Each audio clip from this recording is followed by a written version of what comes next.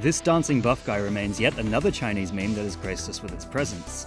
In late 2020, the big guy known as Shang Abi appeared to be known simply as the Big Dancing Man, so it's clear he's been around in meme culture for a long time. He's enjoyed international popularity for almost a year, as he seems to have blown up in European parts of the internet, notably Germany, before English speaking areas. His official Douyin, aka TikTok handle, is LXXBig, and in almost every clip he posts, he surrounds himself with beautiful women. It's clear the motivation behind this is to appeal to a certain demographic, that of young men, as he positions himself as a strong dude with loads of muscles and attention from the opposite sex. Whether or not women are actually falling all over him in real life is unclear, but it is obvious he's become something of an internet celebrity simply by recording himself acting like a celebrity. That said, it's clear the main appeal lies in the fact that an overly buff guy is doing his silly dance, and his fashion sense is also a joy to watch. There are a couple of songs that have become the scores to his videos, but the most popular appears to be the Vietnamese tune called Ko Chang Trai Viet Len Kai by Phan Manh Quynh, which I apologise for terribly butchering the pronunciation of.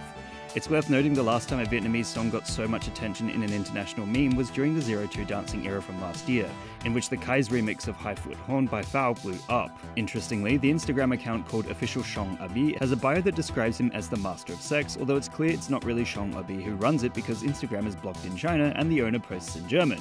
It's also fascinating to see the embodiment of Xi Jinping's wish to present Chinese men as overtly masculine beginning to come to life on the Chinese TikTok scene, although to be fair, Shang Abi sort of bucks that ideal quite a bit. By Western standards, he's extremely flamboyant, although it doesn't make him any less manly. The clothes he wears is definitely something one might see in a gay club, and holy shit, he totally rocks it.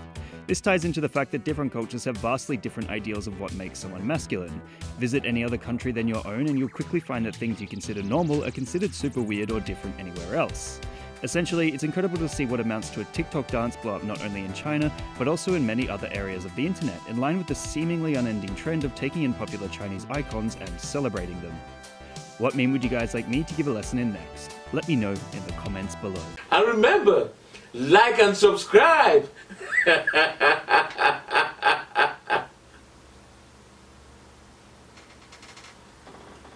or else.